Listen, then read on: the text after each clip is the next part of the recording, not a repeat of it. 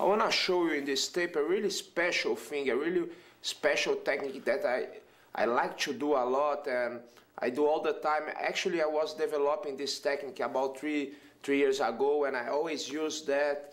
So I call, I call this uh, guarda sucuri. That's in English, can be uh, snake guard.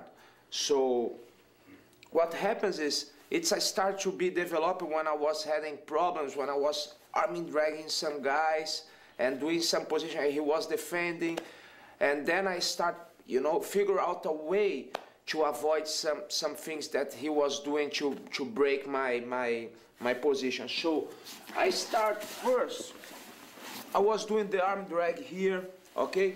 And normally what you do normally you you just escape your hips goes to the back right so to avoid that, what the guys do normally is he put the, his leg, no, just one leg, this leg up, okay?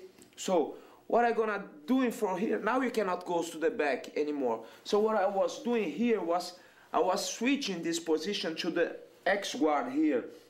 I was going with my hand here and putting my another hook under, okay?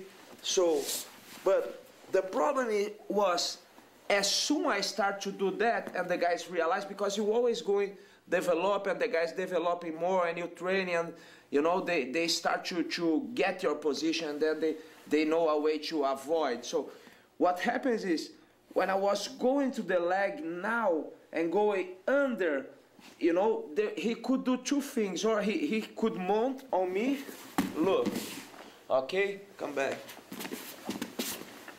or he could just go to the side when I was going to the, put my hooks, okay, to the X guard. So what I start figure out was when I, when I pull his leg here, if I put my foot and wrap his leg here, now I avoid him to mount on me by pushing his hips back. Now he cannot try to mount. Look, if I close my knees here, he keep tight, he cannot jump on me, and he cannot not he cannot walk to the side. Okay let's do just show him this. So this is the first way that how I, I developed this position. This is why I developed I was crossing the arm to go to the back.